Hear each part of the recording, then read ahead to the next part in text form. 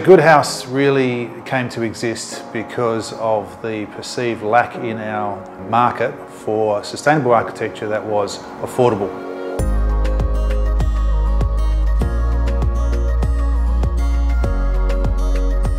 Good House 13 has got about a 6.6 kilowatt system with a 5 kilowatt inverter and it's got a, a 10 kilowatt battery. The evidence is showing already that the energy consumption will be well and truly met by the power generated on site.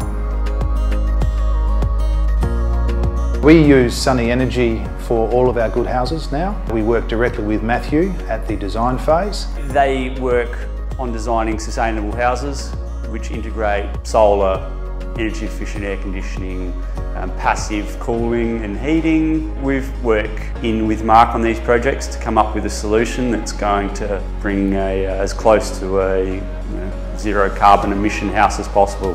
It's such a changing market. What we've found in this area is that it's really important to have an expert on the team.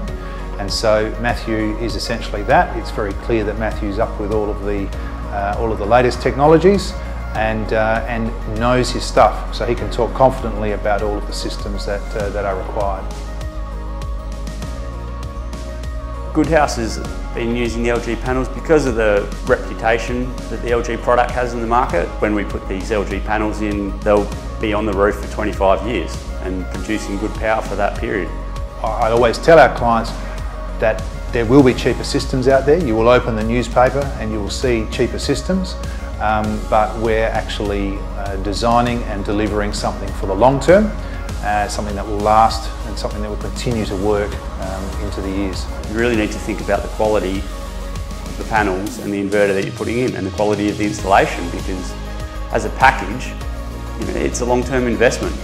I think with, with anything in the building industry, what you want on your, or the people that you want on your team are people who are, are motivated, uh, they know their stuff and they're ethical.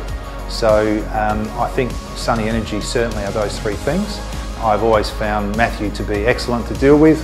Uh, he's always the same, he always answers the phone, and they're the things that are really, really important to, uh, to a company that's uh, like ours. We want the trade to answer the phone, answer our questions, and, and get on well with clients, and uh, Matthew does all of those things very well.